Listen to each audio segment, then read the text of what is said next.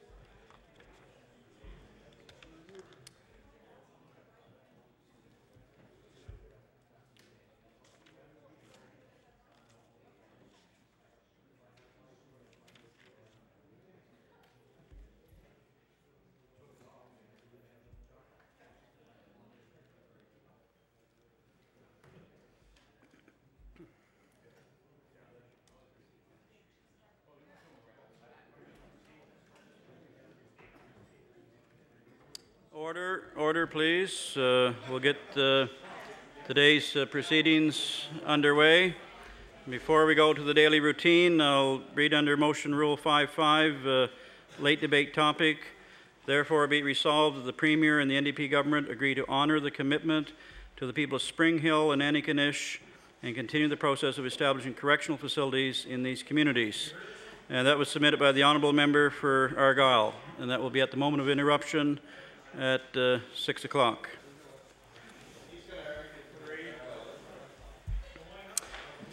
The daily routine, presenting and reading petitions.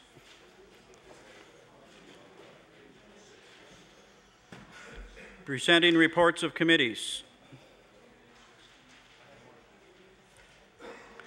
Tabling reports, regulations, and other papers.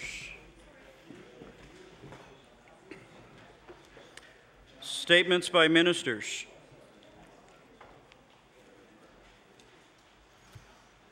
Government notices of motion. The Honourable the Premier. Thank you, uh, Mr. Speaker. I hereby give notice that on a future day, I shall move the adoption of the following resolution.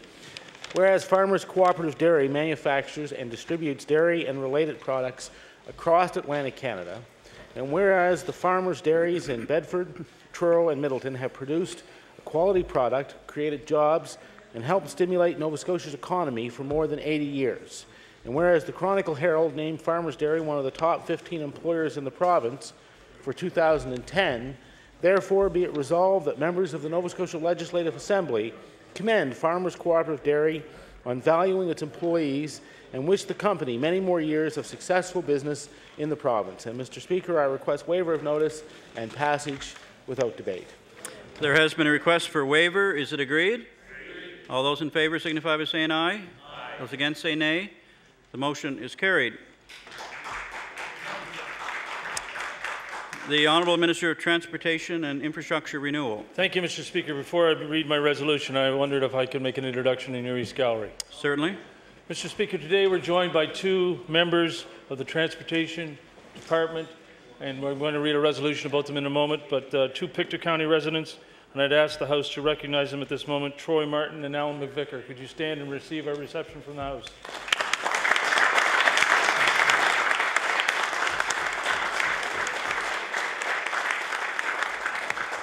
And, and, gentlemen, you might as well remain standing because you're going to get an ovation here and again in a moment if you don't mind. I hereby give notice on a future day I shall move the adoption of the following resolution. Whereas on August 14, 2009, Transportation Infrastructure Renewal employees Troy Martin and Alan McVicker were traveling on the Arbuckle Road in the Pictou area when they saw smoke coming from a nearby home. And whereas they responded by calling 911 and working to ensure the sleeping occupant was safely removed from this home. And whereas Alan and Troy remained at the scene to assist in the traffic control when the fire trucks arrived, therefore be it resolved that all members of the House of Assembly recognize and applaud Troy Martin and Alan McVicker for their courage and resourcefulness. Mr. Speaker, I ask for a waiver of notice and passage without debate. There has been a request for waiver. Is it agreed? agreed. All those in favor signify by saying aye. Aye. Those against say nay. The motion is carried.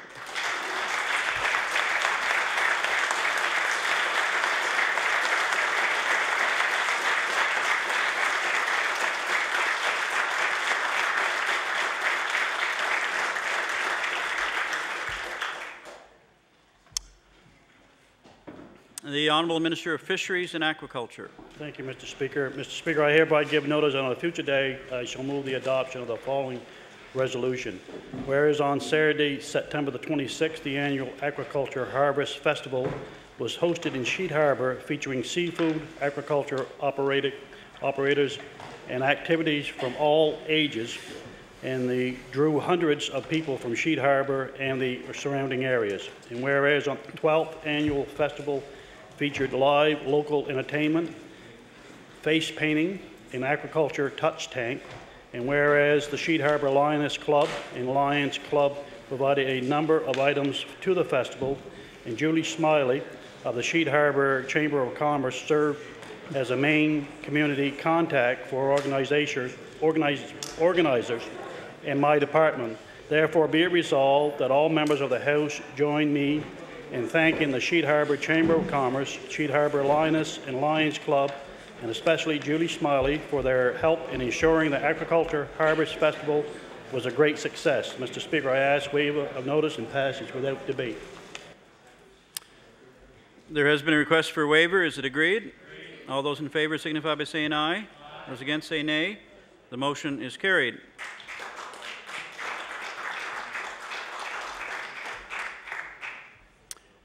Introduction of bills.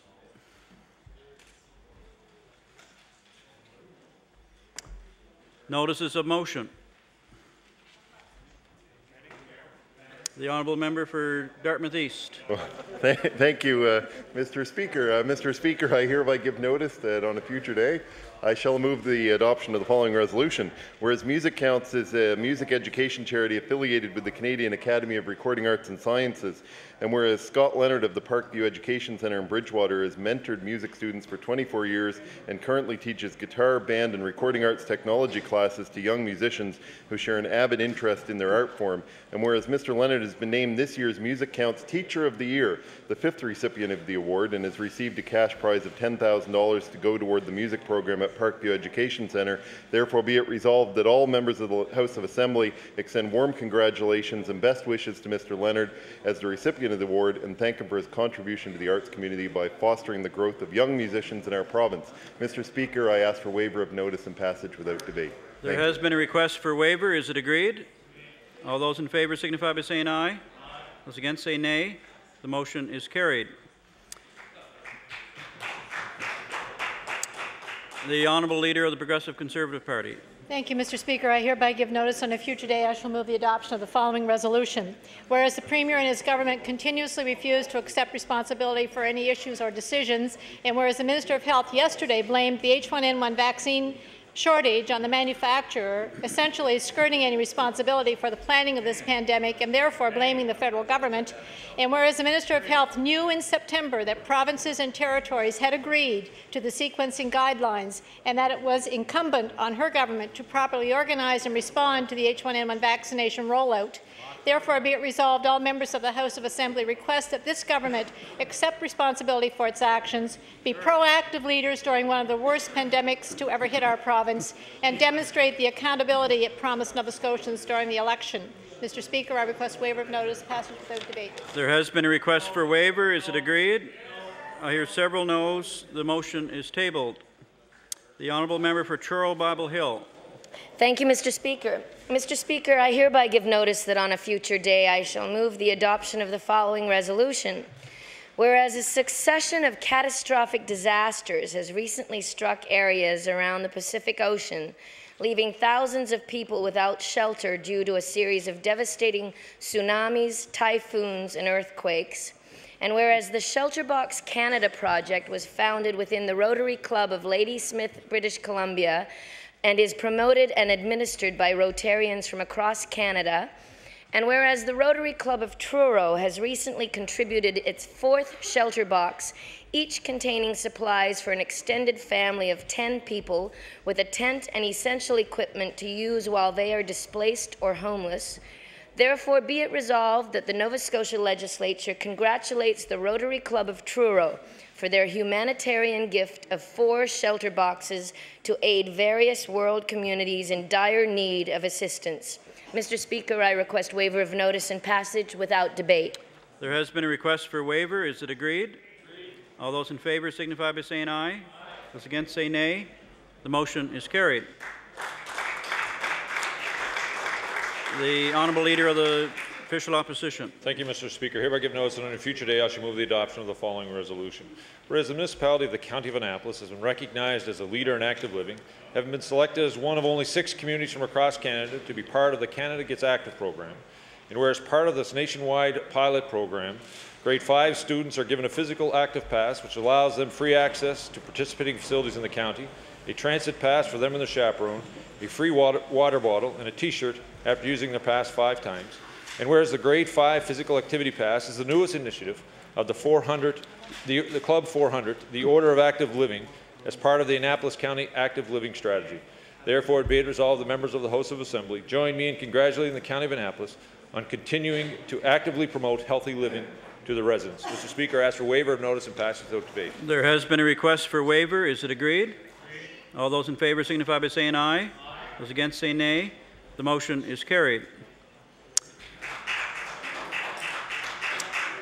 The Honourable Member for Victoria the Lakes. Thank you, Mr. Speaker. Mr. Speaker, I hereby give notice that on a future date I shall move the adoption of the following resolution. Whereas Nova Scotia's Minister of Health has statistics to tell her how many people are in each priority group, and knowing the supply required to immunize these groups, she should be begin telling all Nova Scotians the expected timeline in which she will be moving from one priority group to another.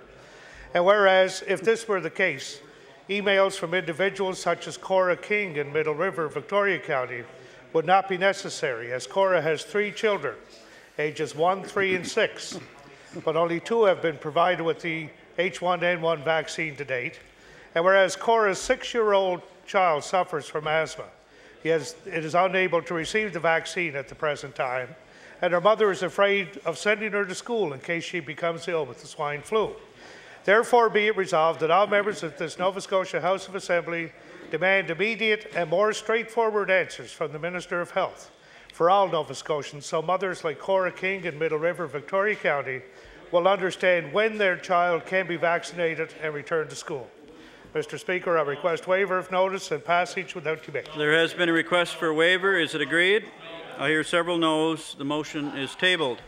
Uh, the Honourable the Premier on an introduction. Thank you, Mr. Speaker.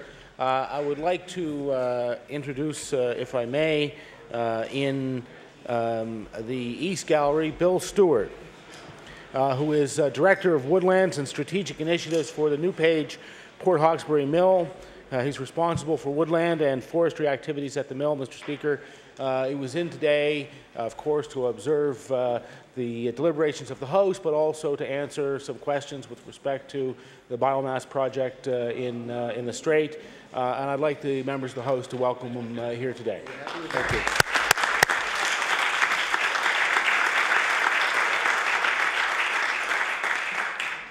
The Honourable Member for Queens. Thank you, Mr. Speaker. I hereby give notice that on a future day I shall move the adoption of the following resolution. Whereas on August 29th and 30th, 2009, in Liverpool, Nova Scotia, hosted the Eastern Qualifier and National Timber Sports Championships in Privateer Park.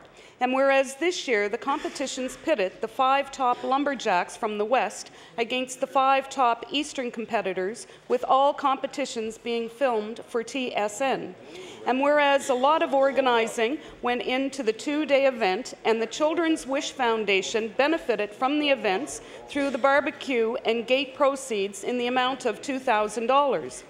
Therefore, be it resolved that the House of Assembly recognizes Sue and Moyle Conrad of Greenfield, Queens County, and all of their volunteers for their hard work in scheduling the events and for attracting a national broadcaster to the community for the Eastern Qualifier and National Timber Sports Championship in Privateer Park. Mr. Speaker, I request waiver of notice and passage without debate.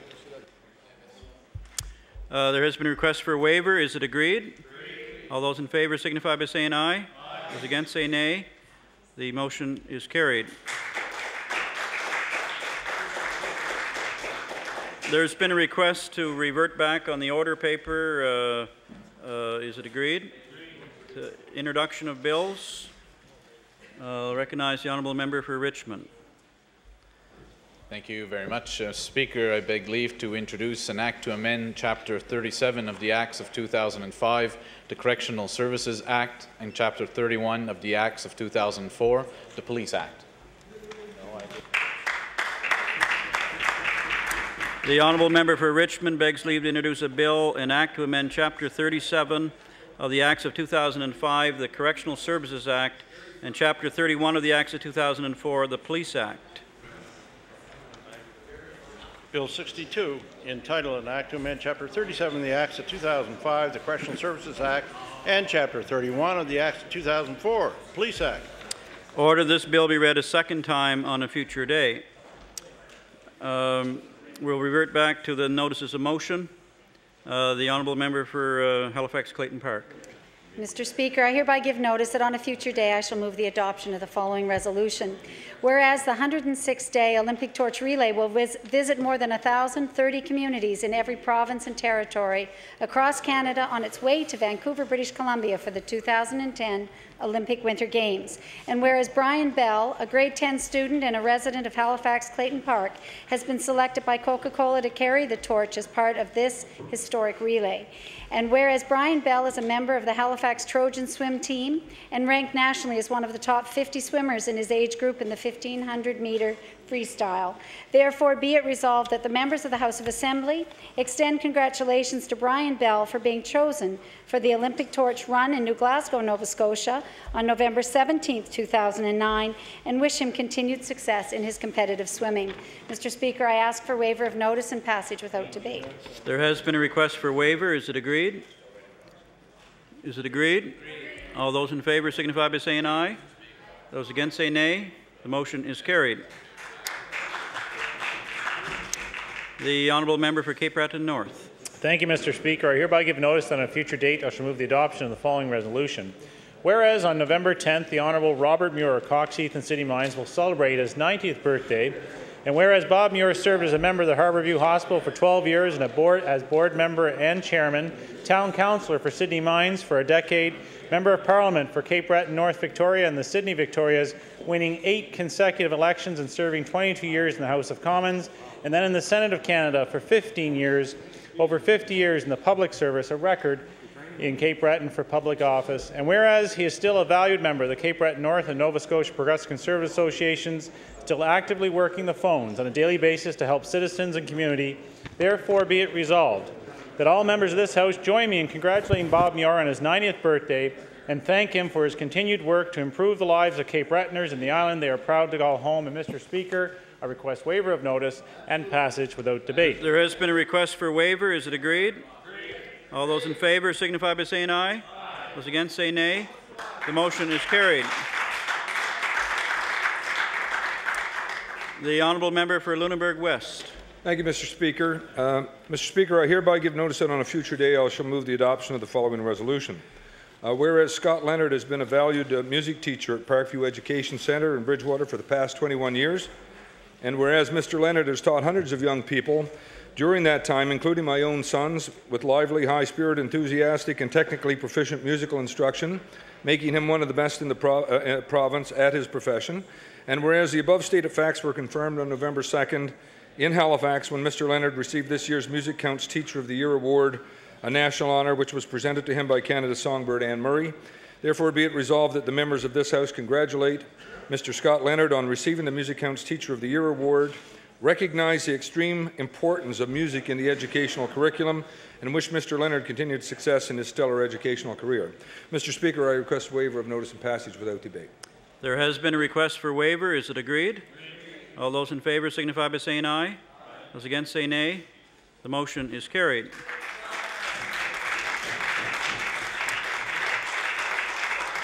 The honourable member for Kings West. Thank you, Mr. Speaker.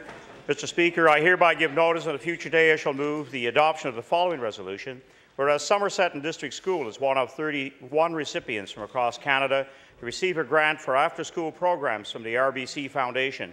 And whereas Principal Heather Morris presented RBC with a proposal for a five-day-a-week program geared towards increasing the need for additional physical activity, decreased uh, screen time, healthy eating, as well as improving literacy, and whereas the uh, corporate executives of RBC were impressed with Ms. Morris's foresight and innovative program, and they awarded Somerset and District School with a $25,000 grant to implement the program. Therefore, be it resolved that members of this House congratulate Principal Heather Morris and Somerset and District School on receiving this grant and wish them continued success in future endeavours. Mr. Speaker, I ask for waiver of notice and passage without debate. There has been a request for waiver. Is it agreed? All those in favour signify by saying aye. aye. Those against say nay. The motion is carried. The honourable member for Cumberland South. Thank you, Mr. Speaker. I hereby give notice on a future date I shall move the adoption of the following resolution. Whereas as of last spring, motorists have been greeted by a Mothers Against Drunk Drivers sign as they enter Parrsboro on Highway 2.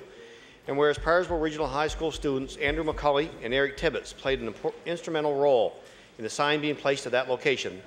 And whereas these students have been active members of the Cumberland County chapter of MADD and have volunteered their time at road checks with RCMP and both have advocate, been advocates for MADD, taking that dedication one step further, where they recently held a barbecue at Harbor, Harbor, Harvest Fest in Parrsboro, raising funds for Safe Grad at Parrsboro Regional High School. Therefore, be resolved, members of the Nova Scotia Legislature congratulate Andrew McCully and Eric Tibbetts for their dedication to this very worthy cause and wish them all the best in their future endeavors. Mr. Speaker, I request waiver of notice to pass without debate. There has been a request for waiver. Is it agreed? agreed? All those in favor signify by saying aye. aye. Those against say nay. The motion is carried. The honourable member for Kings North. Speaker, I hereby give notice that on a future day I shall move the adoption of the following resolution. Whereas John Palmer, now of Kentville, is the patriarch of both Palmer Home Hardware in Berwick and Rayfuse Home Hardware in Wolfville, and whereas Mr. Palmer has been in the hardware business since the 1950s, eventually bringing members of his family into the business, and whereas Mr. Palmer was recently presented with several prestigious awards marking the, his 50 uh, years in the industry, Therefore, be it resolved that the Nova Scotia Legislature congratulate Mr. Palmer on the 50th anniversary of his involvement in the hardware business and wish him, his family, and their business continued success in the years ahead. Mr. Speaker, I request waiver of notice and passage without debate. There has been a request for waiver. Is it agreed? agreed. All those in favour signify by saying aye. aye. Those against say nay. The motion is carried. The honourable member for Richmond. Speaker, I hereby give notice on a future day I shall move the adoption following resolution. Whereas to celebrate Family Doctor Week in Canada, the College of Family Physicians of Canada honoured 10 top family physicians from each province on October 31, 2009 in Calgary. Whereas Dr. Lawrence McNeil from Arichat, Richmond County, is one of 10 outstanding doctors who scored top marks for exceptional patient care and who exemplify the best of what being a family doctor is all about whereas Dr. Lawrence McNeil will be honoured with the Reg L. Perkins Award for a significant contribution to the health and well-being of his community and society in general. Therefore, be it resolved that the members of the House of Assembly congratulate Dr. Lawrence McNeil on receiving the Reg L. Perkins Award and commend him for his years of dedicated service to the residents of Isle Madame and surrounding area. Mr. Speaker, I ask for waiver of notice and passage without debate. There has been a request for waiver. Is it agreed? agreed. All those in favour signify by saying aye. aye. Those against say nay. The motion is carried. The honourable member for Cape Breton North. Thank you, Mr. Speaker. I hereby give notice that on a future day I shall move the adoption of the following resolution. Whereas the provincial government has taken back its initial advisory asking all Nova Scotians to get an H1N1 vaccination and has stated that due to concerns around supplies, only pregnant women, children under five, First Nations people, and healthcare workers should attend public vaccination clinics, and whereas vaccine has already been distributed to some of Nova Scotia hockey team members, staff at Central Nova Correctional Facility, and the Nova Scotia Liquor Commission executives ahead of those in greatest need, and whereas this discrepancy between who should be receiving the vaccine and who actually received it has caused tremendous confusion, therefore be it resolved that this government review the criteria used in determining priority groups and vaccinate those individuals accordingly. And Mr. Speaker, I request waiver of notice and passage without debate. There has been a request for waiver. Is it agreed? I hear several noes. The motion is tabled. The uh, honourable member for Lunenburg. Thank you, Mr. Speaker. I hereby give notice that on a future day I shall move the adoption of the following resolution. Whereas the National Association of Federal Retirees is a nonprofit group representing the interests for retired federal civil servants, monitoring issues such as pensions, medical benefits, and whereas the local branch has 730 members after being formed by the help of two dedica of dedicated volunteers such as Mr. Ivan Rodenizer, who helped start the association in the mid-80s. And whereas the National Association of Federal Retirees honored its past pres presidents, Mr. Ivan Rodenizer, Mr. Bill Noss, Mr. Ozzie Hardy, and Mr. Avery Eldridge in a plaque presentation on October 22nd, 2009. Therefore, be it resolved that this House of Assembly recognize the contribution of Mr. Rodenizer, Mr. Noss, Mr. Hardy, and Mr. Eldridge, and congratulate them on the recognition they have received from the National Association of Federal Retirees. Mr. Speaker, I request waiver of notice and passage without debate. There has been a request for waiver. Is it agreed? All those in favor signify by saying aye. Those against say nay. The motion is carried. The honourable member for Clare. Thank you, Mr. Speaker. Mr. Speaker, I would like to make my resolution first in French. Monsieur le Président, une date ultérieure, je demanderai l'adoption de la résolution suivante. Attendu que le prix innovateur vert de l'année de l'Association des détaillants en, en quincaillerie de l'Amérique du Nord est décerné à un propriétaire exploitant d'une quincaillerie au Canada et aux États-Unis en reconnaissance de leurs accomplissements dans l'industrie et attendu que Marc Robichaud de UJ Robichaud Timbermar à Metegan Center a reçu le prix innovateur vert de l'année 2009 de l'Association des détaillants en quincaillerie de l'Amérique du Nord lors d'une convention qui a eu lieu à Saint Antonio au Texas. Attendu que Marc a, a décidé il y a plus de dix ans d'adopter une approche écologique pour l'entreprise a été reconnu au niveau local, provincial et maintenant international pour son dévouement. Par conséquent, il est résolu que les membres de cette Assemblée félicitent Marc Robichaud pour ses accomplissements et lui souhaitent un succès continu dans tous ses projets futurs. Monsieur le Président, je demande l'adoption de cette résolution sans préavis et sans débat. Mr. Speaker, I hereby give notice that on a future day I shall move the adoption of the following resolution. Whereas the, the North American Retail Hardware Association Retail Innovator Award is presented to an owner, manager of a hardware and building supply store in both Canada and the U.S. in recognition of their achievements in the industry. And whereas Mark Robichaud of UJ Robichaud Timber Mart in Meteghan Centre was presented with the 2009 North American Retail Hardware Association Retail Innovator of the Year Award in the grain marketing category at this year's convention in San Antonio, Texas. And whereas Mark decided over 10 years ago to take the company in an environmentally friendly direction and has been recognized locally, provincially, and now interna internationally for its dedication. Therefore, be resolved that members of this House of Assembly congratulate Mark Robichaud for his accomplishment and wish him continued success in future endeavors. Mr. Speaker, I would ask for waiver of notice and passage without debate. There has been a request for waiver. Is it agreed? Agreed. All those in favor signify by saying aye. Those against say nay. The motion is carried. The honourable member for Cumberland South. Um, thank you, Mr. Speaker. I hereby give notice on a future date I shall move the adoption of the following resolution. Whereas last month, the provincial government advised all Nova Scotians to get an H1N1 vaccination to prevent the spread of the virus, which has been on the rise in the province since last spring. And whereas on October 21st, prior to the delivery of the first 52,000 of, of the 1.4 million vaccines, Nova Scotia's Chief Public Health Officer, Dr. Robert Strang, was quoted as saying, We're not going to be turning people away. And whereas we've heard from several Nova Scotians with underlying health conditions such as asthma, like 10 year old Emily Hoyk of River Hebert, who have been denied receiving the vaccine. Therefore, be resolved this government commit to allowing all Nova Scotians with chronic illnesses that could compl complicate recovery and compound the effects of the H1N1 virus admission to any public vaccination clinic in the province to receive the vaccine. Mr. Speaker, I request waiver notice and pass without debate. There has been a request for waiver. Is it agreed? I hear several noes. The motion is tabled. The honourable member for Guysborough, Sheet Harbour. Thank you, Mr. Speaker. Mr. Speaker, I hereby give notice that on a future day I shall move the adoption of the following resolution. Whereas the Sheet Harbour range lights were built in 1915 and continue to be utilized today, and whereas Nova Scotia lighthouses are a significant tourist attraction, and whereas Sheet Harbour area residents Karen Corbin and Janet Maybe, through their determined efforts, have saved this important piece of history and heritage from demolition, Therefore, be it resolved that the Nova Scotia Legislature recognizes the importance of the Sheet Harbour range lights, both historically and presently, and thanks Karen Corbin, Janet Maybe, and the many other residents of the Sheet Harbour area who successfully lobbied for the preservation of the Sheet Harbour range lights. Mr. Speaker, I request waiver of notice and passage without debate. There has been a request for waiver. Is it agreed? All those in favor signify by saying aye. Those against say nay. The motion is carried.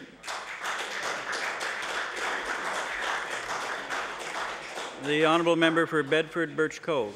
Thank you, Mr. Speaker. I hereby give notice that on a future day I shall move the adoption of the following resolution.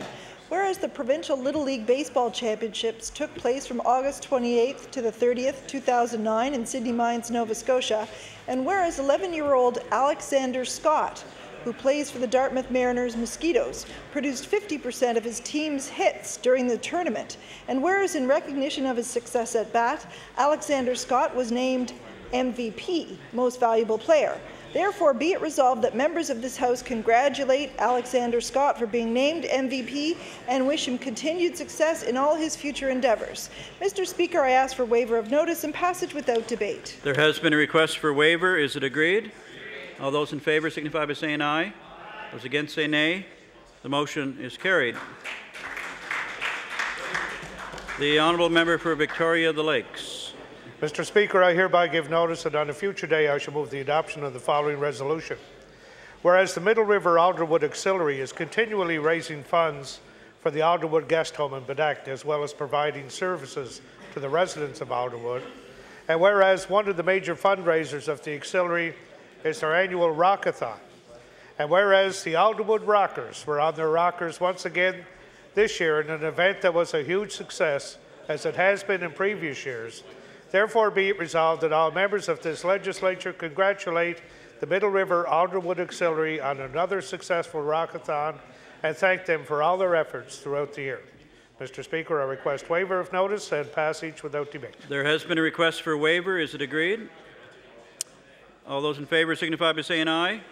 Those against say nay. The motion is carried. The honourable member for Queens. Thank you, Mr. Speaker. I hereby give notice that on a future day I shall move the adoption of the following resolution. Whereas just one Nova Scotia poet was chosen from around the world to be included in the book honoring Leonard Cohen on his 75th birthday in September. And whereas the poet Susan Borgenson is from Nova Scotia and is a visual artist and writer from Queens County. And whereas the anthology was launched in Montreal on the occasion of Mr. Cohen's birthday and is a compilation of submissions in poetic response to Mr. Cohen's own poems. Therefore, be it resolved that this House of Assembly recognizes Susan Borgenson of Eastport Medway, Queens County, for having been chosen to be included in the book Leonard Cohen, You're Our Man, with her response to Mr. Cohen's poem, To Young None. Mr. Speaker, I request waiver of notice and passage without debate. There has been a request for waiver. Is it agreed? All those in favor signify by saying aye. Those against say nay. The motion is carried. The honourable member for Digby Annapolis. Thank you, Mr. Speaker. Mr. Speaker, I hereby give notice that on a future day I shall move the adoption of the following resolution. Whereas what started as a literacy exercise has grown into a, an illustrated book entitled Mrs., Miss Gale's Goals to aid the Digby Area Learning Association. Whereas author and illustrator Terry Gilbert was inspired by her work with children and adults striving to improve their literacy skills through parents and children together. And whereas Terry Gilbert got an idea to take a real life situation and have her students create a story about her friend of 32 years, Gail Hersey, also a retired school teacher who has befriended a couple of herring gulls. Therefore, be it resolved, the members of the House of Assembly recognize Terry Gilbert for her imaginative and creative way of teaching literacy to children and adults alike by having this wonderful story created to benefit literacy in her community. Mr. Speaker, I ask for waiver of notice, passage without debate. There has been a request for waiver. Is it agreed? All those in favor signify by saying aye. Those against say nay. The motion is carried.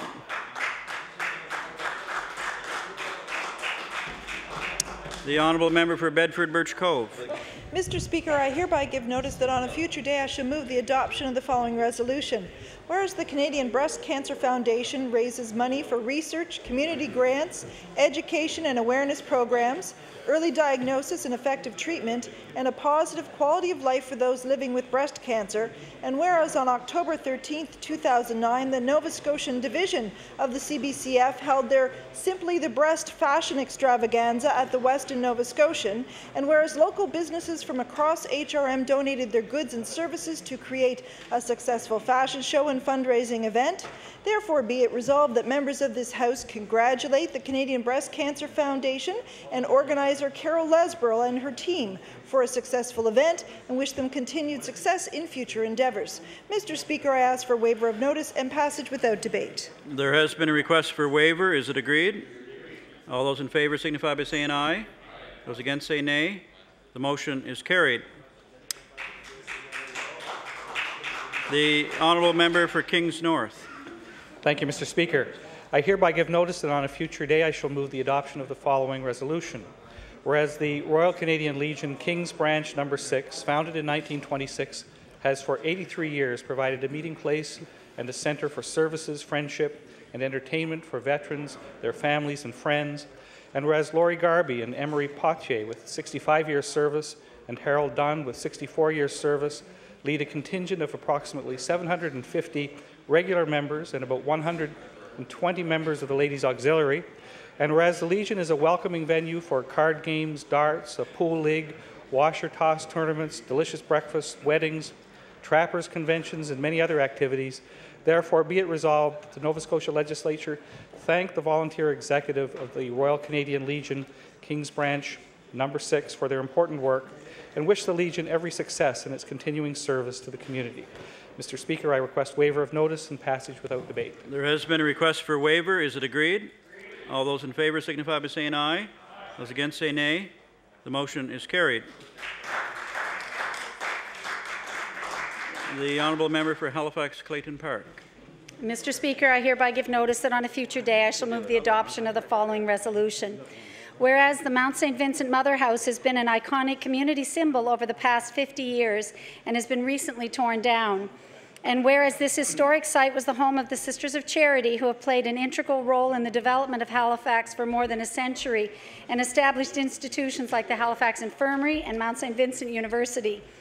And whereas the Sisters of Charity have moved across the street from the former Mother House into their new home, Caritas, which is Latin for charity. Therefore, be it resolved that all members of this House of Assembly congratulate the Sisters of Charity for their continuing work in the community and wish them well in their new home. Mr. Speaker, I ask for waiver of notice and passage without debate. There has been a request for waiver. Is it agreed? All those in favour signify by saying aye. Those against say nay. The motion is carried. I recognize the um, Honourable Government House Leader on an introduction. Thank you, Mr. Speaker. In your gallery, Mr. Speaker, we have someone that's probably more renowned than Wayne Gretzky.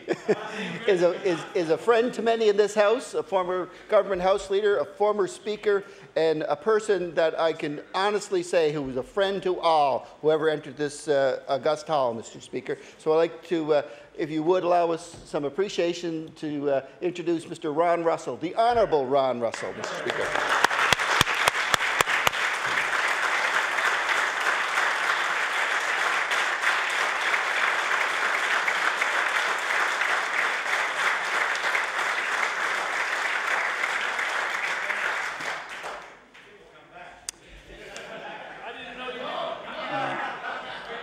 We, uh, we cer certainly welcome uh, we certainly welcome our former colleague back here this afternoon and hope he enjoys the proceedings.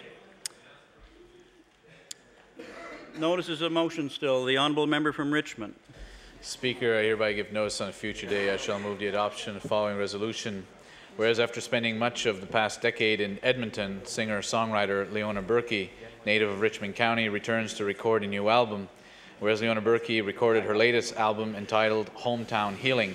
And whereas Leona Berkey's latest album, Hometown Healing, is designed to raise funds for the new Dr. William B. Kingston Medical Clinic in L'Ardoise. Therefore, be it resolved that members of the House of Assembly recognize Leona Berkey for recording her album Hometown Healing and donating the proceeds to the construction of the Dr. William B. Kingston Medical Clinic while wishing her continued success in her music career. Speaker asks for waiver of notice and passage without debate. There has been a request for waiver. Is it agreed? All those in favor signify by saying aye. Those against say nay. The motion is carried. The honourable member for Digby Annapolis. Thank you, Mr. Speaker.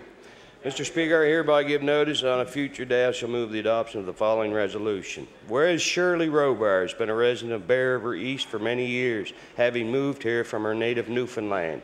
And whereas Shirley Robar is presently chairperson of the Bear River and Area Community Health Clinic, volunteering there since day one of the clinic 15 years ago. And whereas Shirley Robar is an observer with the Digby and Area Community Health Board and with Medic, and is a member of the Bear River Royal Canadian Legion Auxiliary, also volunteers with many other community organizations. Therefore, be it resolved that the members of the House of Assembly recognize Shirley Robar for her outstanding hard work and commitment she has shown to her community by getting involved and helping to make a better place for us to live. Mr. Speaker, I ask for waiver of notice, passage without debate. There has been a request for waiver. Is it agreed? All those in favor signify by saying aye. aye. Those against say nay. The motion is carried.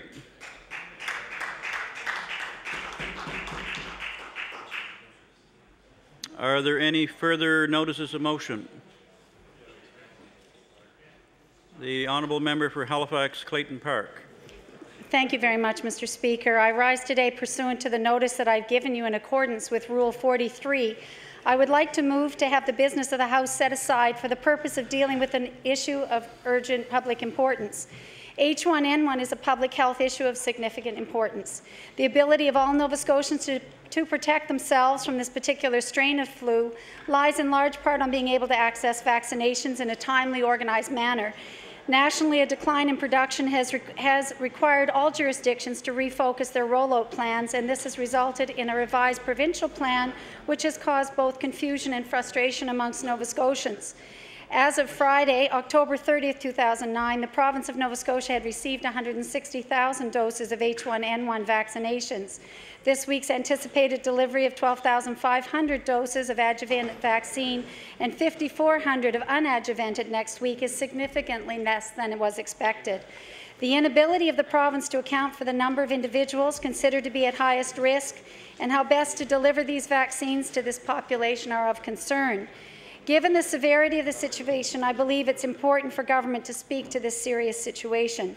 It's imperative that we immediately set aside time to discuss and debate the best way for our province to handle and manage the distribution of H1N1 vaccines, as well as to urge public calm. The delivery of public health services during a pandemic is an issue of extreme importance, and I would ask that all members of the House support our motion for an emergency debate. Mr. Speaker, I would ask that you rule on this. Thank you. Thank you, member. I did receive your um, copy of the resolution within the uh, prescribed uh, two-hour period, and I am satisfied that this is a matter of uh, urgent public debate and uh, certainly a serious and uh, timely matter for debate. So I'll ask if the House has the, if um, the member has the consent of the House. Agreed? Agreed? Then the debate will occur in lieu of the late debate at the hour of interruption at 6 o'clock.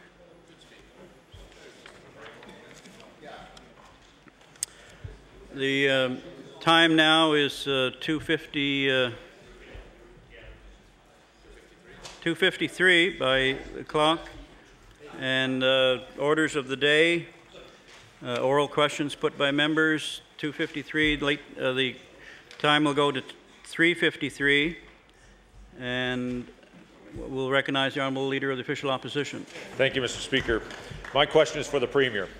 Yesterday was not a pretty day when it came to the delivery of the H1N1 vaccination. Confusion, mixed messages, long waits, and a restriction on those eligible to receive the vaccine are all factors in a situation that is about to become even more ugly very soon if this government does not take control of the situation. This government raised expectations. They told everyone who wanted to be vac vaccinated to come and get one. And now they are forced to scale back for who knows how long.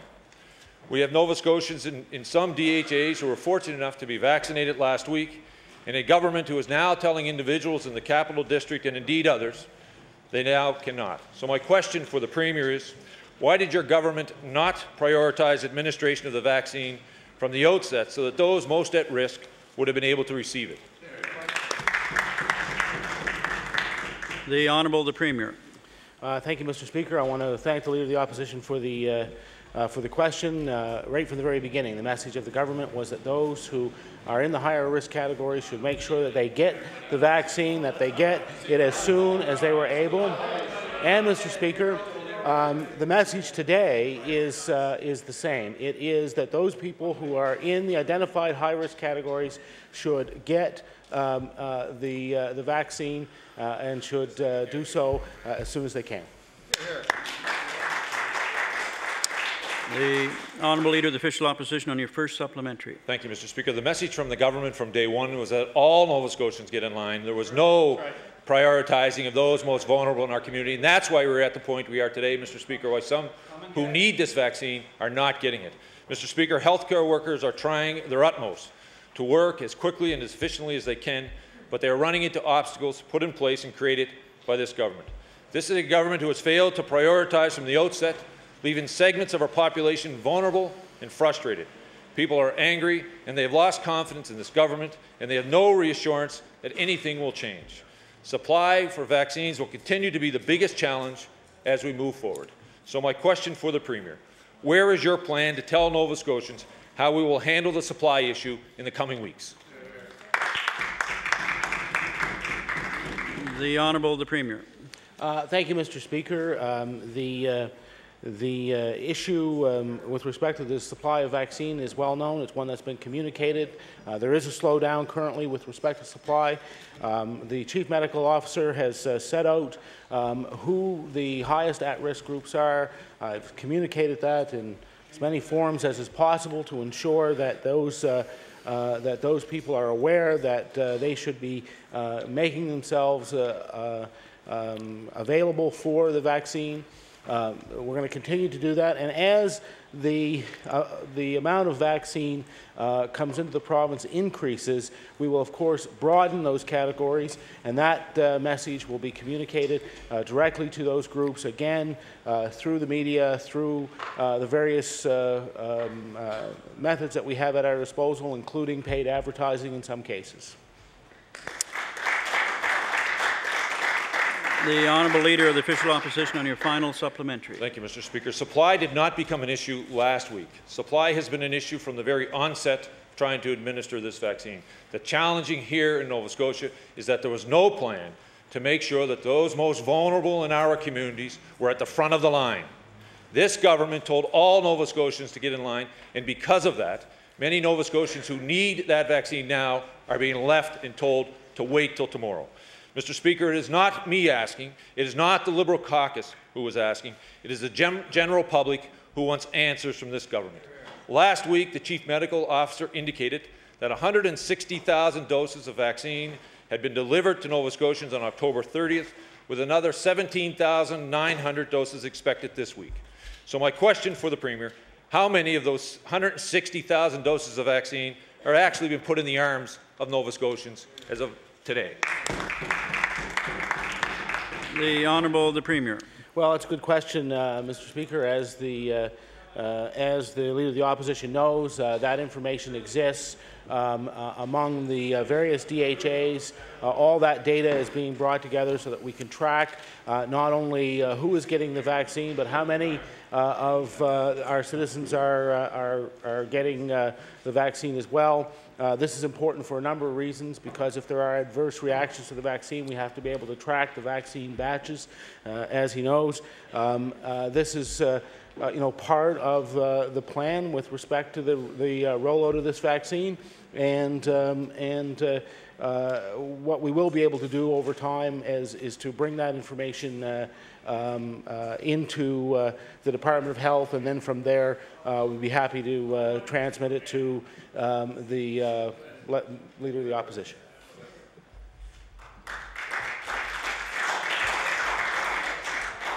The Leader of the Progressive Conservative Party. Mr. Speaker, my question through you is to the Premier.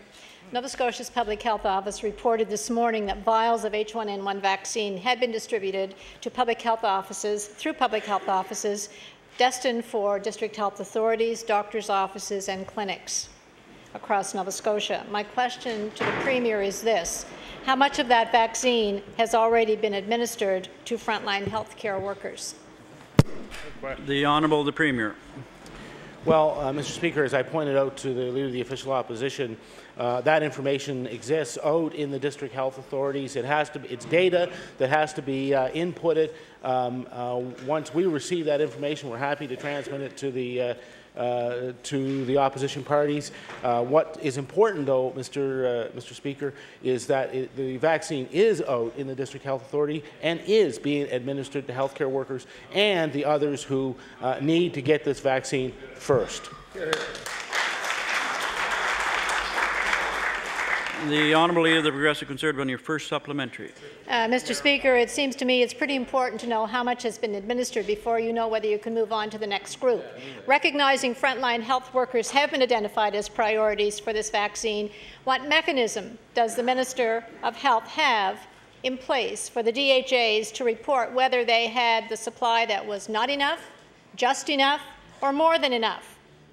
Uh, so that she can be confident and Nova Scotians can be confident that frontline workers have been immunized.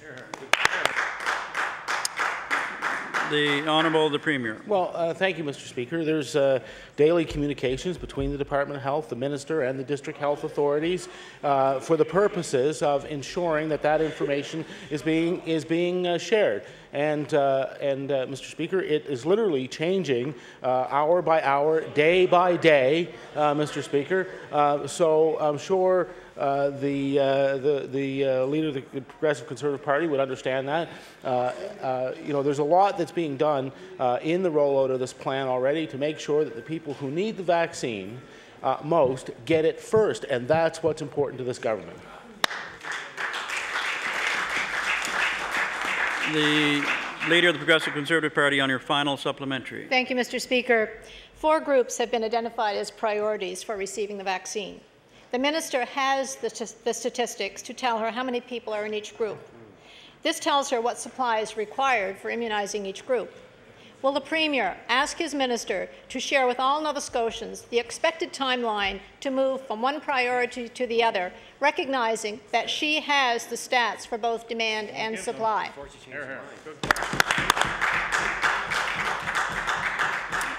The Honourable the Premier. Uh, thank you, Mr. Speaker. Um, the reality is, as was explained uh, to the leader of the Progressive Conservative Party earlier this morning um, the, by the Chief Medical Officer of Health, that, uh, that they were comfortable that the amount of uh, vaccine that is uh, uh, now with the DHAs is sufficient to cover the existing groups um, who, are in, who are in that very high-risk category. That's exactly the information that was transmitted. Uh, unfortunately, and, with, and, this is the case, uh, that um, the, the, questions associated with supply are being monitored uh, by the Minister of Health in connection uh, or in collaboration with the, um, the federal government, who, and it was the federal government who was the contractor uh, for the vaccine.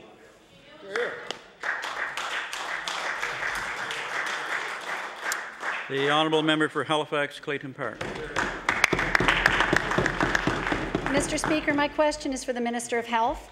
Nova Scotians are becoming increasingly frustrated when it comes to this government's rollout plan for H1N1 vaccinations. Each province seems to have a different set of rules around the development of their priority list, and despite the fact that we severely restricted those eligible for the H1N1 vaccination, long waits continue to plague clinics from one end of the province to the other. My question for the minister is, could the minister please indicate whether these long waits are as a result of not having enough human resources, or is it a lack of vaccine supply that's the problem? The Honourable Minister of Health. Um, Thank you very much, Mr. Speaker. Well, Mr. Speaker, the long lines are because we have lots of families with young children under the age of five. We have pregnant women. We have many people in the target groups, Mr. Spe uh, Mr. Speaker. You cannot move literally thousands of people through a clinic um, instantly, Mr. Speaker. It takes a considerable period of time. And, Mr. Speaker, we have added um, health human resources to our clinics. Mr. Speaker, we are talking with the Capital uh, District and other DHAs about mechanisms that we can put in place to make these lines move more efficiently, Mr. Speaker. Thank you.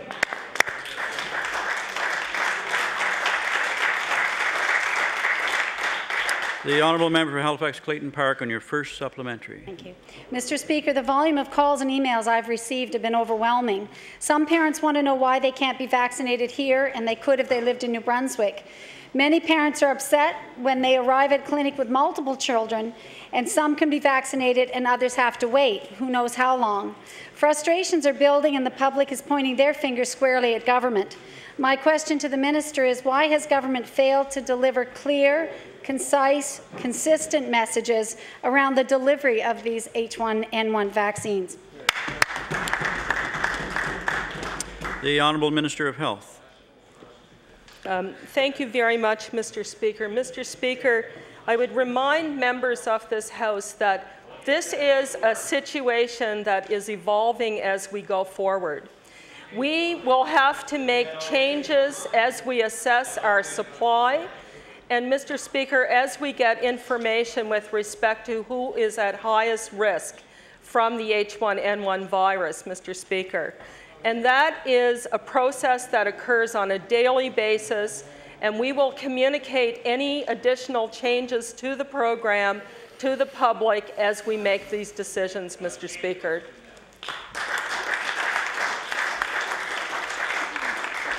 The honourable member for Halifax Clayton Park on your final supplementary. Thank you, Mr. Speaker. The people of Nova Scotia know who to hold accountable when it comes to the rollout of a mass vaccination plan. Public health workers, healthcare workers, volunteers are all doing their utmost to deliver a mass immunization plan. They are not to blame. But a poorly conceived plan comes from the top. Leadership starts at the top. Given that the Minister of Health refused to tell Nova Scotians last night on ATV who is to blame and who is responsible, my final question is for the Premier. Could the Premier please tell us exactly who is responsible for this mess? The Honourable the Premier. Thank you, Mr. Speaker. Uh, Mr. Speaker, the planning for this has been underway for many months. The Chief Medical Officer of Health, along with the uh, Deputy Minister uh, responsible, has uh, uh, worked on the, uh, the continuation of the plan that was originally drafted by the former government. all of the provinces right across, the, right across the country are experiencing exactly the same kinds of difficulties that Nova Scotia is experiencing. You know, you could have gone literally last weekend to any newspaper in the country and you would have seen exactly the same problem, Mr. Speaker. and in fact, one of the things that is fortunate for this province is that we haven't run out of uh, vaccine. We're going to continue to inoculate those who are in the high-risk groups, Mr. Speaker, as is, uh, as is uh, appropriate, making sure that they get the vaccine uh, first. Unfortunately, uh, some provinces are uh, even now very close to running out of vaccine. Thank you.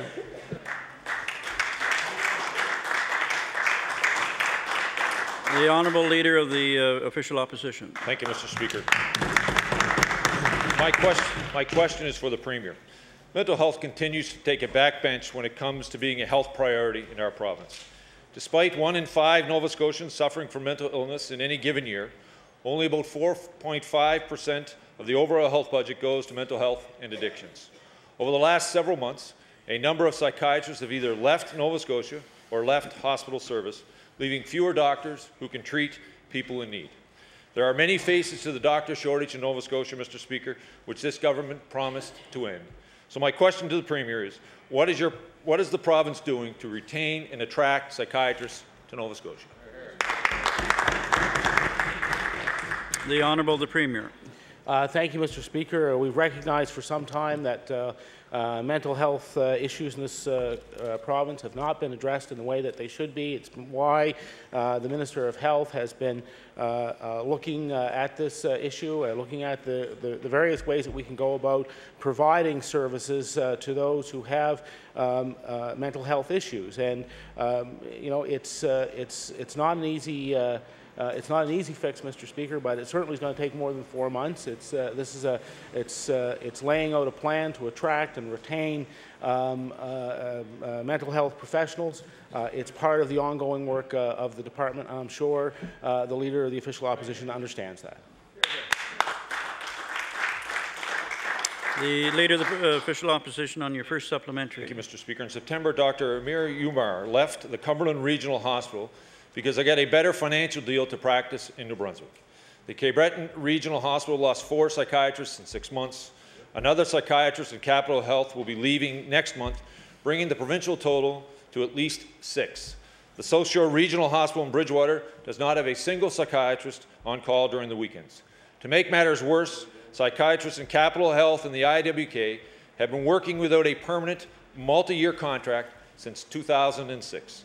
So my question to the Premier is, how many more psychiatrists have to leave Nova Scotia hospitals before your government takes action? The Honourable the Premier. Uh, thank you, uh, Mr. Speaker. Um, well, uh, of course, the roots the, of the decisions that were made by psychiatrists to leave the province uh, would go back uh, more than a couple of months. I'm sure uh, the Leader of the Opposition understands that. But what I can tell him is that there has been a negotiated agreement with those doctors and the, the, uh, that uh, is uh, in the process of, of being approved um, over the next week or so.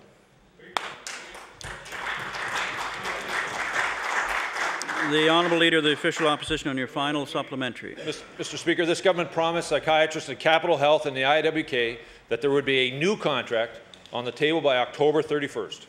Well, Halloween has come and gone, and it appears the government has played a trick on mental health professionals in this province. Every day, our healthcare system struggles to provide children, young people, adults, seniors with mental health who need mental health care in every corner of this province, and this government chooses to ignore them. So my question for the Premier is why did your government break its promise to bring forward a new contract to psychiatrists providing much-needed service in Capital Health and the IWK? The Honourable the Premier. Well, it is simply not true, uh, Mr. Speaker. Uh, there has been a memorandum of understanding signed with respect to uh, these physicians. Um, uh, it's a matter of having um, the uh, AFP uh, approved, which is which is going to be done shortly.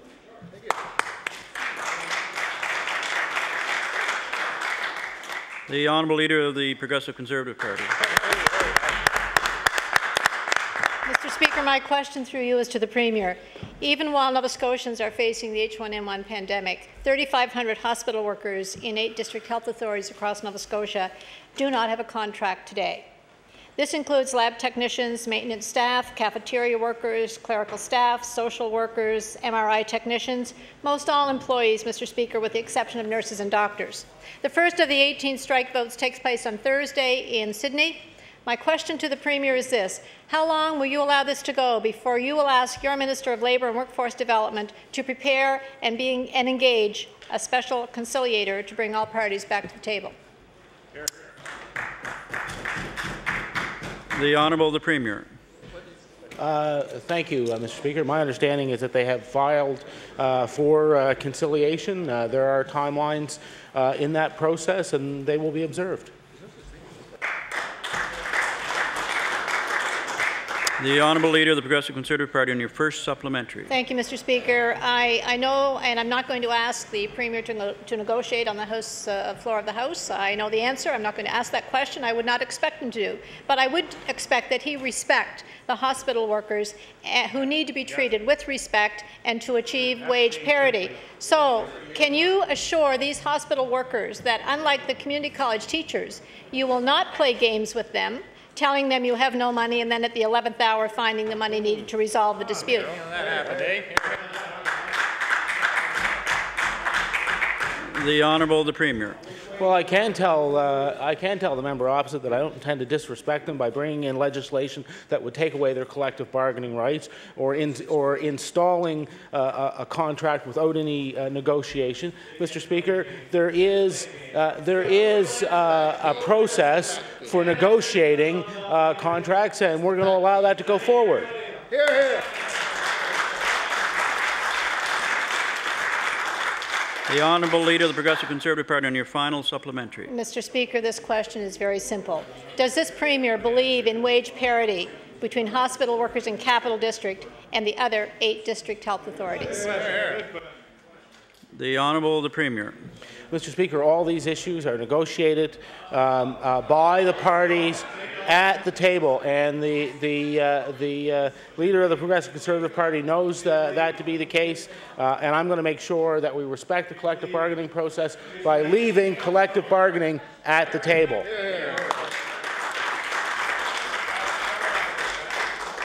The Honourable Leader of the uh, Official Opposition. Thank you, Mr. Speaker.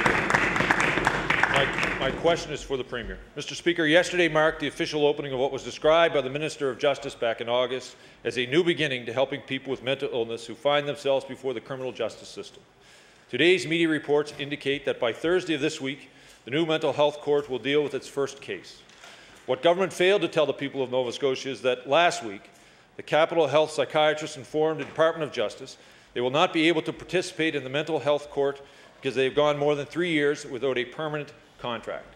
So my question to the Premier is, what can, can the Premier explain the impact of not having any psychiatrists participate in the mental health court? The Honourable the Premier. Uh, thank you, Mr. Speaker. What I can say is that, as I uh, uh, mentioned to him earlier, the memorandum of understanding has been signed. Uh, I understand that the uh, that the doctors have been told that uh, the uh, substance of that agreement will be instituted. That that. Uh, that, that those pay scales will be um, will start to be rolled out uh, as soon as possible, and we're going to move forward with the AFP as expected. The Honourable Leader of the Official Opposition on your first supplementary. Thank you, Mr. Speaker. The mental health court was supposed to be a made-in-Nova Scotia approach to a serious problem, addressing the needs of people with mental illness issues who come before the court. The provincial government promised Capital Health and the IWK psychiatrists that there would be a new contract in place by the end of October. This government broke its promise to the psychiatrists, and unfortunately, psychiatrists are left with no choice but to hold back on providing additional services until a contract is in place. So my question to the Premier is, what is your government's contingency plan to operating the mental health court without psychiatrists? The Honourable the Premier. Well, thank you, Mr. Speaker. Uh, there is no need for a contingency plan because the memorandum of agreement that was signed is going to be honoured.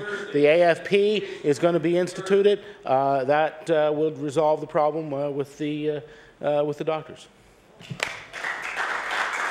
The Leader of the Official Opposition on your final supplementary. Thank you, Mr. Speaker. Mr. Premier, it's Thursday, two days from now. And you know full well that will not be solved, and this issue has been in front of your government from day one. You've been from day one. And you left Nova Scotians with mental illness in the dark on this issue, Mr. Speaker. Mr. Speaker, psychiatrists are starting to leave our province uh, and, and our hospitals because they've gone without a competitive contract for more than three years. What has become abundantly clear is that Nova Scotia does not have a plan to deal with the mental health issues in this province. The contract issue with psychiatrists makes a bad situation even worse, which we are now seeing with the mental health court. So my final question to the Premier, will the Premier personally intervene to ensure his government's commitment to mental health care professionals are kept? The Honourable the Premier. Uh, Mr. Speaker, I've already said that uh, with respect to the memorandum of understanding, those commitments are going to be kept. But what's abundantly clear is that the leader of the official opposition doesn't understand what a mental health court is, doesn't understand how it works, doesn't understand that it is a collaborative uh, uh, of a collaborative nature that looks to resolve problems over the uh, over the uh, a long period of time. So you know, we on this side were the champions of the mental health court. We're the ones who made sure who made sure that it got instituted, Mr. Speaker. That's right. So, Mr. Speaker, tho- tho- those, those people who will benefit from that uh, facility will benefit because of the work done by the members on this side of the House and the Minister of Health and the Minister of Justice.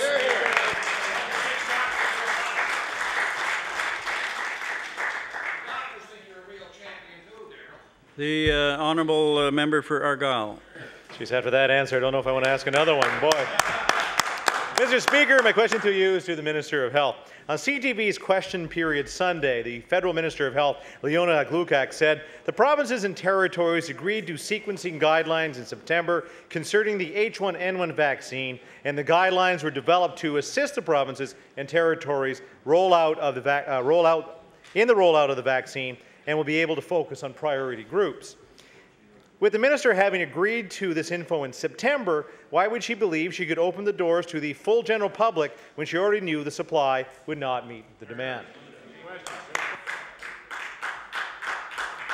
The honourable Minister of Health.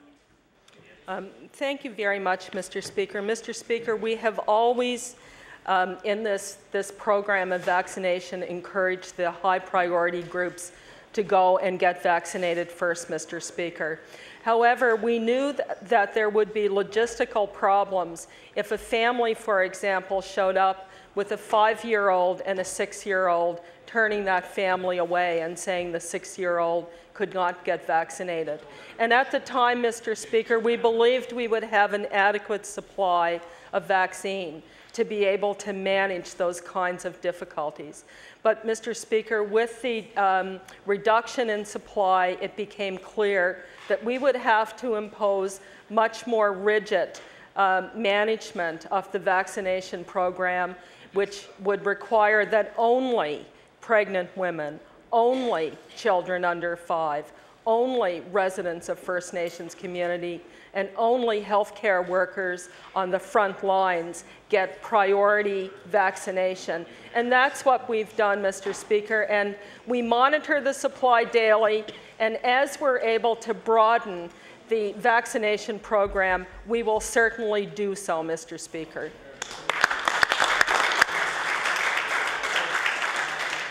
The honourable member for Argyle on your first supplementary. Thank you very much, Mr. Speaker. Through you again to the Minister of Health.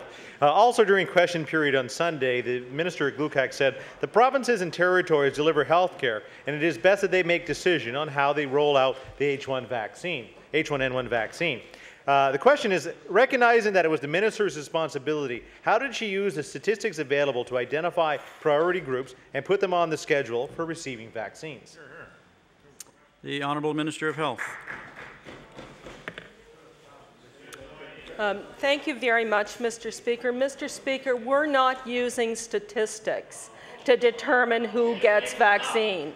Mr. Speaker, we are looking at who will get sickest if they get H1N1, and we are providing protection for those people first, Mr. Speaker, because we don't want people in our emergency rooms, in our ICUs, Mr. Speaker, for many, many weeks if, the, if pregnant women, if children under five, members of First Nations communities, or healthcare workers are sick, Mr. Speaker.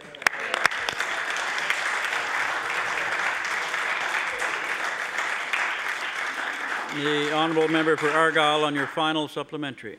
Mr. Speaker, statistics are, are, what makes this thing work, that they know where they need to be focusing their time, where they need to be focusing uh, their vaccines, the people they should be getting to. So she's taking statistics and throwing them out. She's throwing them out here today. She's saying that numbers are not important. She, she committed to see a sequencing guideline with the federal government. She's thrown that one out. So I'm wondering today whether she will be, will she make it available, make these numbers that made her make a decision, or some of these great ideas that she's had that she's messed up. Well, I want her to, to, to, table them here today, table them here today, why she's made the decisions the way she has, and how she's going to fix it. The Honourable Minister of Health. Um, thank you very much, Mr. Speaker. I'm not sure what the honourable member is suggesting. Is he suggesting that is the honourable member suggesting that pregnant women and children under five shouldn't be getting vaccinated first, Mr. Speaker? Because if that's what he's suggesting, Mr. Speaker, he's very, very wrong, Mr. Speaker.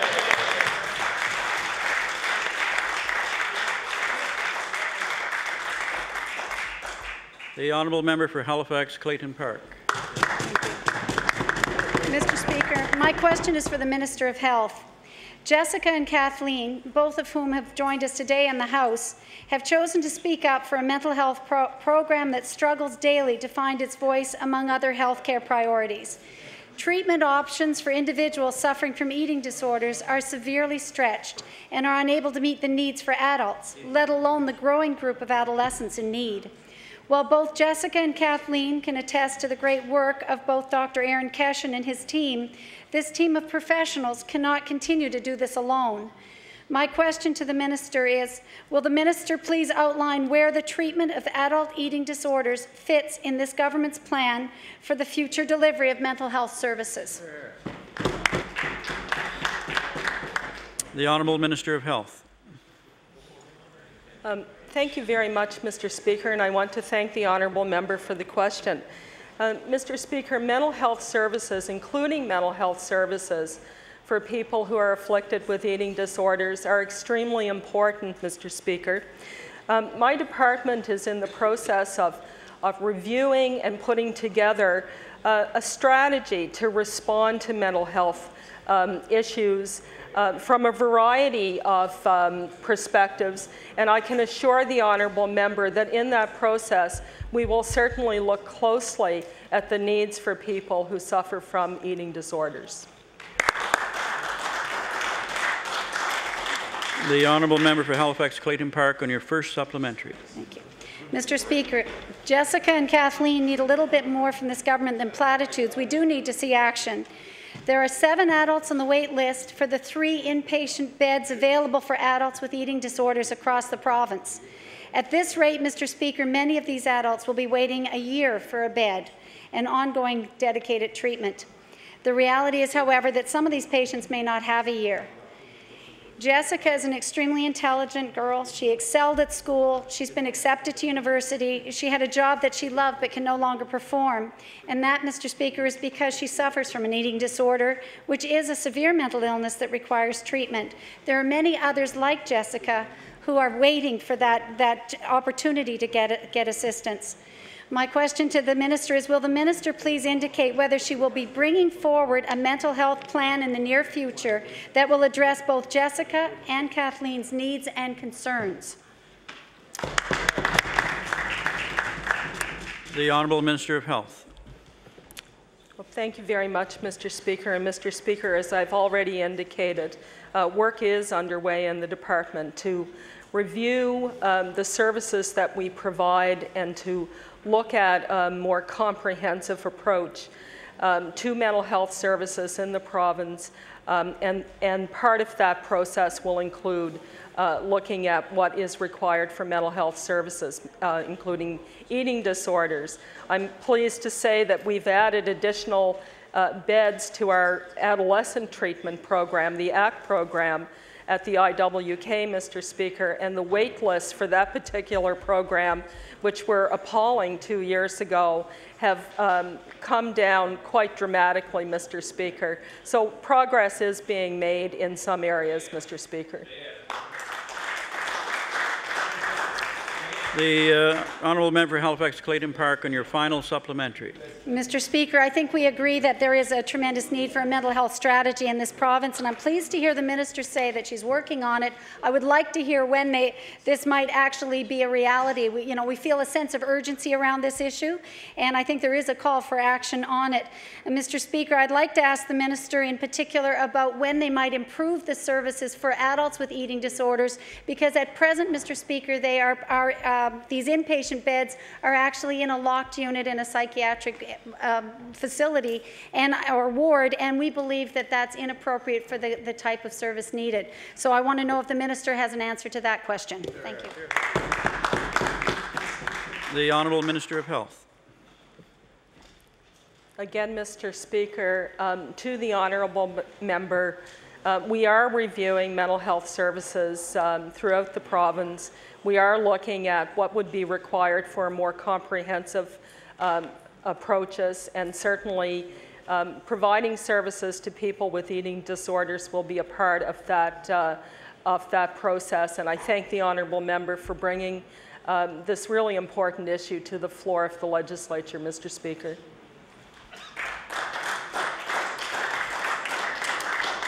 The honourable member for uh, Cumberland South. Thank you. Uh,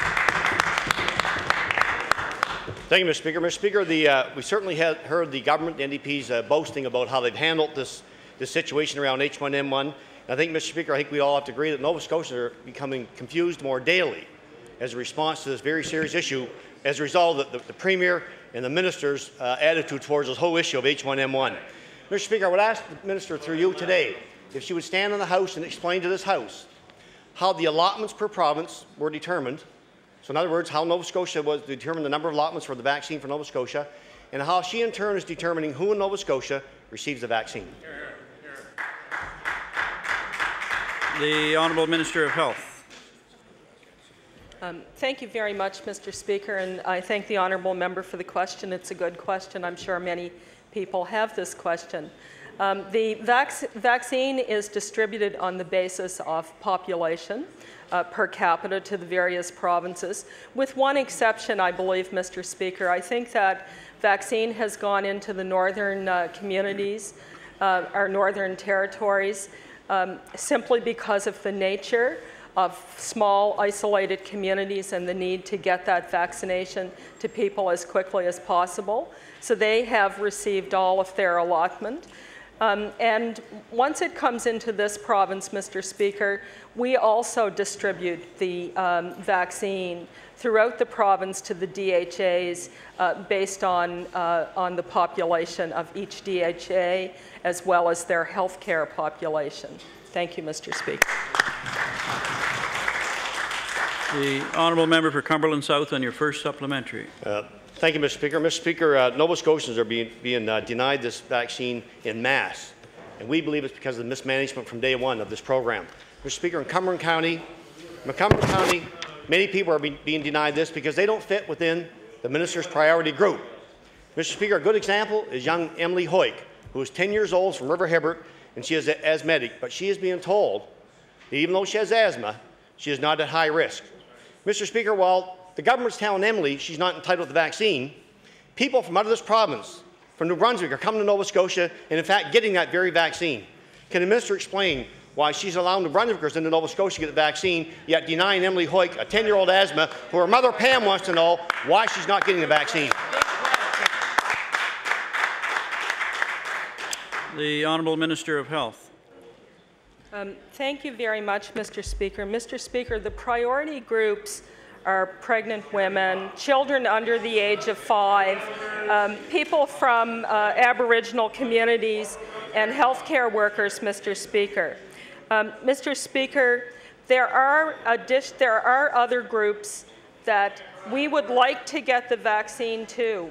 Um, cancer patients, Mr. Speaker, with compromised immune systems, for example, we would like to get the vaccine to. But, Mr. Speaker, we have had a reduction in the amount of vaccine, which has required us to provide vaccine to the people who are at the highest risk of becoming very sick, Mr. Speaker. And, Mr. Speaker, the medical experts say that people with asthma if it is well managed, are not as high a risk as pregnant women or children under the age of five, Mr. Speaker. And that, that's the reason, Mr. Speaker. With respect to New Brunswick, residents from New Brunswick, I have no information that residents from New Brunswick are coming to Nova Scotia en masse. Perhaps residents from Nova Scotia are also attending clinics in New Brunswick, Mr. Speaker. We would have to look at that.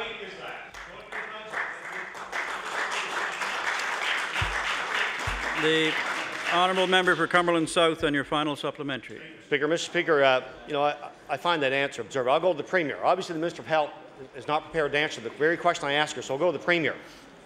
Well, Mr. Premier, it's a very serious issue. It is for Pam Hoyk, who has a 10-year-old daughter who wants this vaccine. We just learned moments ago, a lady, the first casualty in Newfoundland, H1N1, was a person who had asthma. This young girl has asthma. Her mother is demanding that she have the vaccine. Mr. Speaker, it's been confirmed that people from New Brunswick are coming here because we're not asking them for MSI. It's an honor system. They're coming here, and I, if I heard the minister right, she said she's not aware of that happening.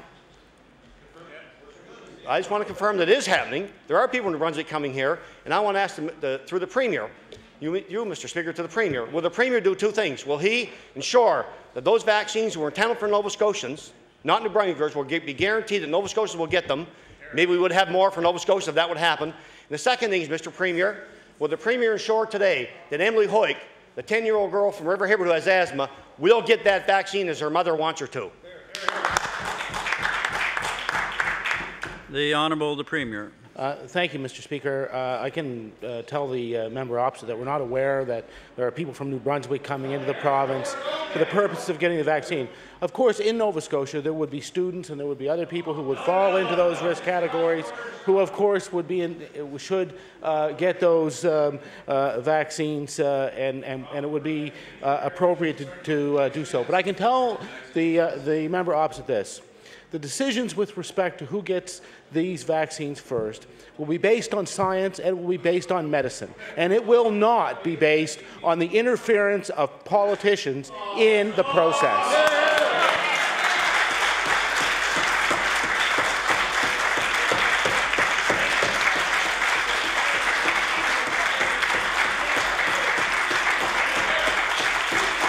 Order, order, order. Order, please. Order. Order.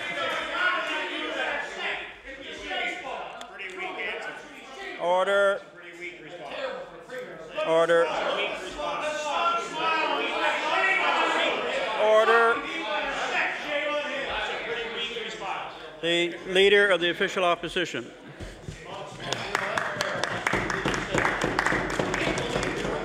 Thank you, Mr. Speaker. My, my, my, question, my question is for the Order. Premier. Order. The Leader of the Official Opposition. I'm going to remind members that the, uh, the Leader of the Official Opposition has the floor. Thank you, Mr. Speaker. My question is for the Premier. The Chief Electoral Officer made recommendations to the House following the June election. Specifically, she made recommendations including provisions of regulating third parties. She said, and I quote, Regulation should include registration of third parties, as well as expressed limits on the spending and reporting requirements with limits. So my question to the premiers, what steps have you taken to regulate advertising by third parties during an election campaign? The Honourable the Premier. Thank you, Mr. Speaker. Uh, I thank the uh, uh, Leader of the Official Opposition for the question. There's an electoral commission uh, out there. They would have received the recommendations uh, of the Chief Electoral Officer, and I'm sure uh, that once they've had an opportunity to meet, they'll be willing to consider it.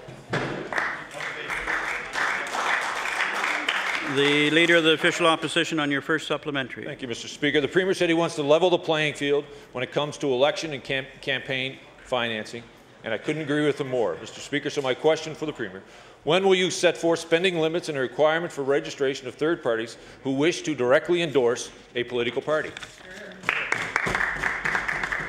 The Honourable the Premier.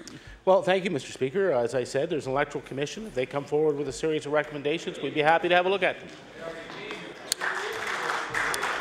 The Leader of the Official Opposition on your final supplementary. Recommendation put before this House.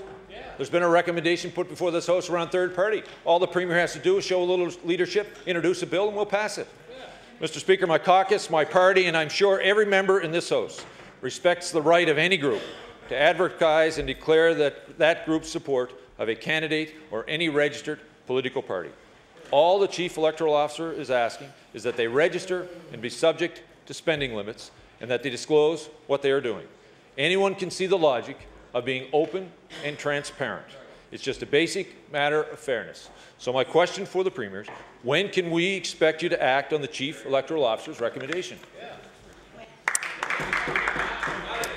The Honourable the Premier. Thank you, Mr. Speaker. As I said, when the Electoral Commission considers it, comes forward with a, ser- uh, a set of recommendations. Um, uh, once the, the Commission has an opportunity to consider it, we'll be happy to uh, have a look at it.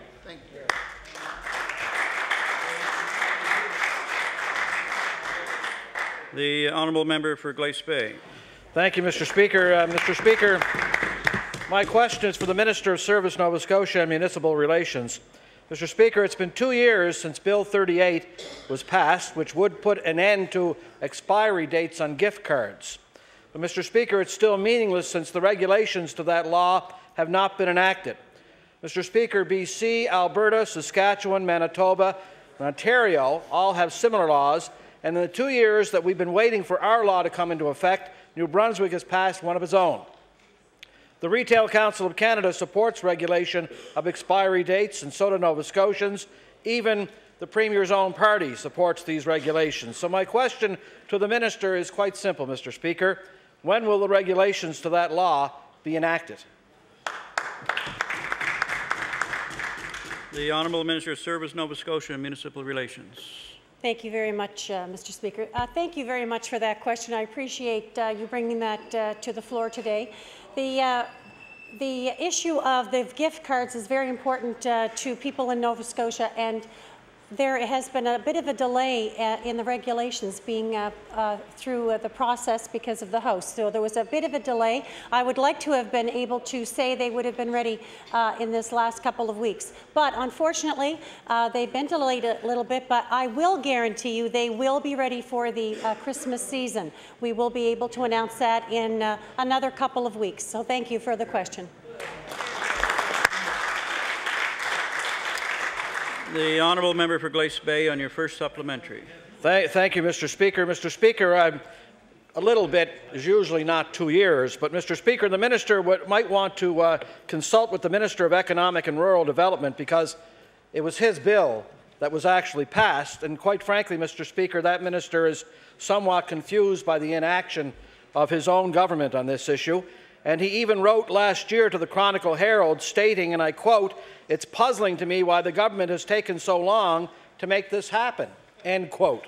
Mr. Speaker, before the minister does what she usually does and blames the previous government, I'd like to remind her that she has had ample time to enact these regulations. So after two years of waiting, after this government has been in power for over four months, I'd like to know, even though she said today that she's going to do it, I'd like to know why those regulations have not been enacted before now. The Honourable Minister of Service, Nova Scotia and Municipal Relations. Thank you very much, Mr. Speaker. Uh, when uh, coming into office, it was one of the first uh, issues that I looked at, and I've uh, been in constant contact uh, with my colleague uh, around this issue.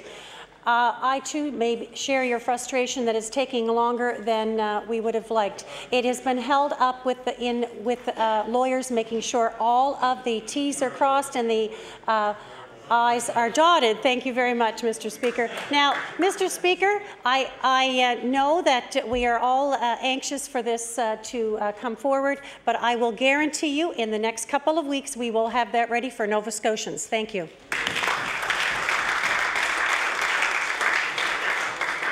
The Honourable Member for Glace Bay on your final supplementary. Thank you, Mr. Speaker. Heaven knows it's easy enough to blame lawyers, Mr. Speaker.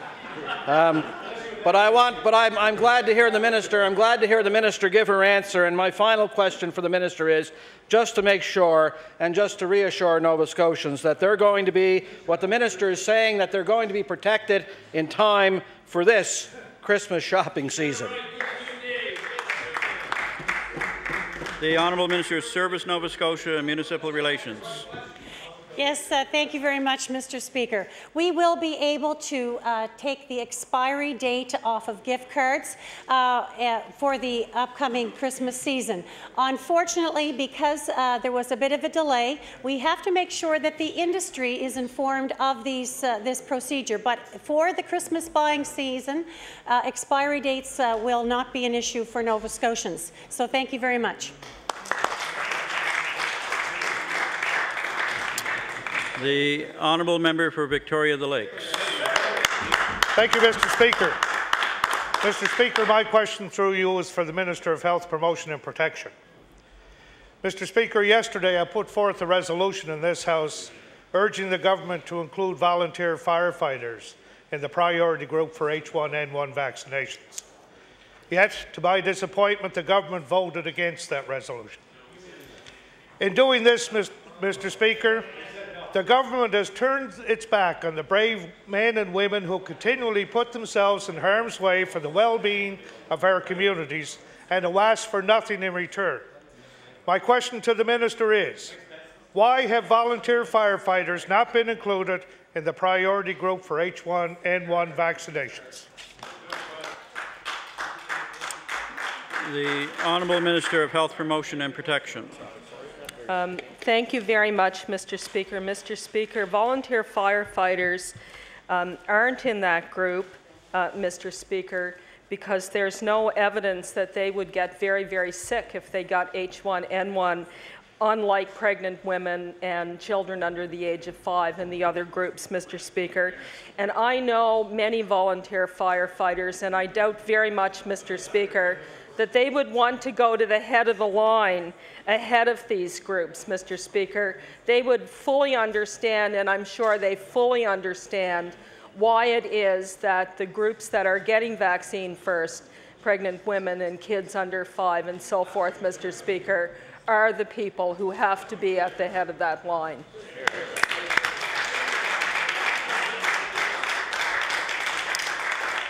The honourable member for Victoria the Lakes on your first supplementary. Thank you, Mr. Speaker. Uh, last week, as we're all aware, it was everyone. Mr. Speaker, as we all know, the duties of volunteer firefighters extend beyond putting out fires. They're often the first responders to medical and other emergencies within their communities, especially rural communities. Their efforts have made the difference between life and death for countless Nova Scotians. Yet, while many of these firefighters are subjecting themselves to increased dangers when responding to medical emergencies such as H1N1, the government refuses to include them in the priority group.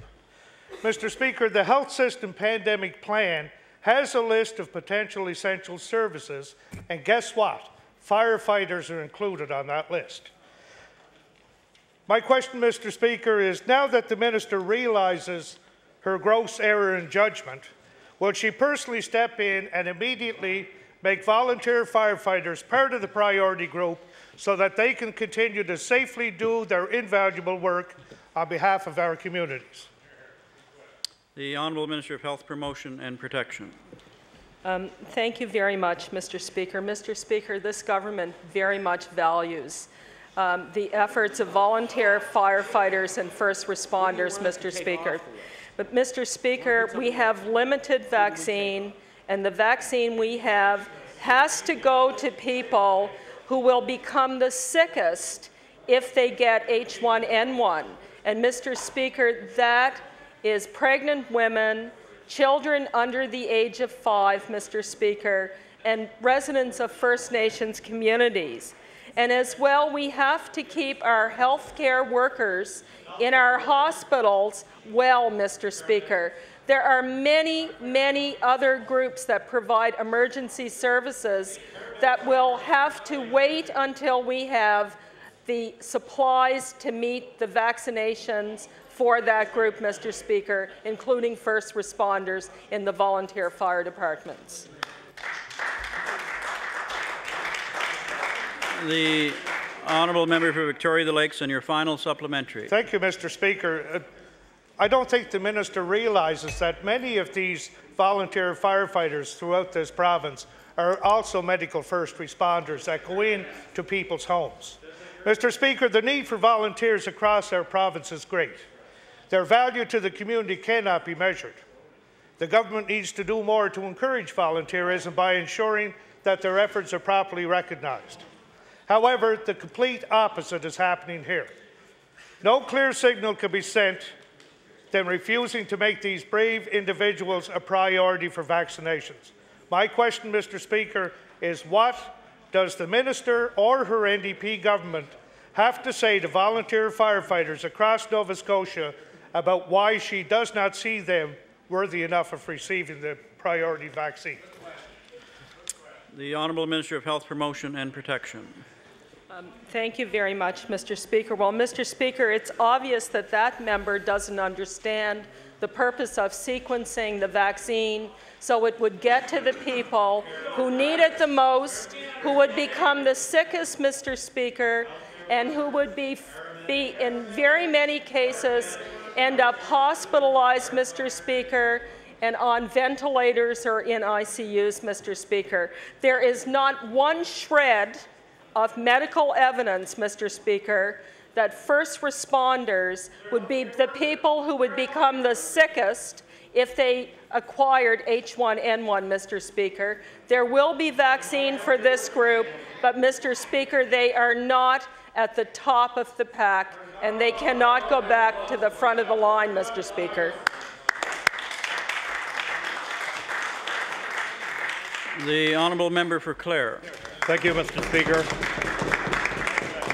Mr. My questions for the Minister of Economic and Rural Development. Mr. Speaker, on January 22nd of this year, the Department of Economic and Rural Development, through the Industrial Expansion Fund, provided $12 million to Bay Ferries Limited. This money was to cover financial losses on its Yarmouth to Maine service and to allow the CAT to be able to continue operations in 2009. So my question to the Minister, would the Minister please report to this House exactly how much of that $12 million was spent this year on ferry operations. The Honourable Minister of Economic and Rural Development. Uh, thank you, uh, thank you, Mr. Mr. Speaker, and through you, uh, Mr. Speaker, to the members member opposite, is that we are currently looking at, and we have been looking at uh, Bay ferries for the last few weeks. Uh, in fact, uh, Mr. Speaker, I, uh, I just met with uh, Bay Ferries operations uh, probably within the last, uh, certainly within the last two to three weeks. the purposes of, of, that meeting was, one was to get an update. one was also to look at the, look at the future of Bay Ferries as it pertains to the problems of Nova Scotia. Three was also to look at what we have been doing for the last uh, for the last couple years with Bay Ferries. And as, as we know, Bay Ferries now uh, operates uh, under um, an agreement uh, with, the, uh, with the province of Nova Scotia. And I think if my memory serves me correct, uh, Mr. Speaker, I think it's $6 million uh, for, the, um, uh, for a subsidy, and then there was a $3 million um, transition fee in there if the uh, service did uh, discontinue. Thank you. The honourable member for Clare on your first supplementary. Thank you, Mr. Speaker. Mr. Speaker, the service cited changes in fuel costs and economic challenges for the reason that it needed this assistance. So my question to the, to the minister, has Bay Ferries Limited contacted your office for assistance for the 2010 season? The Honourable Minister of Economic and Rural Development. Uh, thank you, uh, thank you, Mr. Speaker. And I reiterate is that I've had a, a meeting with uh, with Bay Ferry Services under the current structure. Uh, there's, uh, there's two pieces of Bay Ferries. Uh, one piece is associated with the Yarmouth end of the province, and the other is with respect to Digby. So there are two contracts, if you will, Mr. Speaker, uh, one that runs out next year and one that there'll still be another year to go. And so the, the, the short answer is that the, um, uh, the contact that I've had with Bay Ferries wasn't with respect to, uh, it wasn't an ask, Mr. Speaker. It was one of information, information, information share, information sharing, and uh, they wanted us to uh, get up to snuff as to where we were and where, uh, where they were as far as Headspace was concerned. The honourable member for Clare on your final supplementary. Mr. Speaker, this is an important service that it's an economic generator for the area and which also serves to stimulate tourism in Nova Scotia. So my final question to the Minister, would the Minister please inform Nova Scotians whether the Department of Economic and Rural Development is looking at assisting Bay Ferries Limited in the 2010 season. The Honourable Minister of Economic and Rural Development. Uh, thank you, uh, thank you, Mr. Speaker. And again, uh, what the, the purpose of the meeting is to go down, uh, pursue a path as to where we're going to be a year or two years from now. I will say, Mr. Speaker, that the member opposite is right, is that uh, this is this is very, very important to Nova Scotians. We've got a huge decision to make. One is based on business. Order, order. The time for oral question period has expired. I'll recognize the uh, Honourable Government House Leader. Uh, Mr. Speaker, with the uh, consent of the, uh, the two House leaders, uh, we would ask for a uh, short recess of a half hour to 45 minutes. We, are expecting some uh, bills back from law amendment, and so with the indulgence of the House, that we will recess for Uh, 45 minutes. The question is to recess for a few minutes. Is it agreed? agreed. All those in favour signify by saying aye. aye. Against say nay. The motion is carried. We are recessed for a few minutes.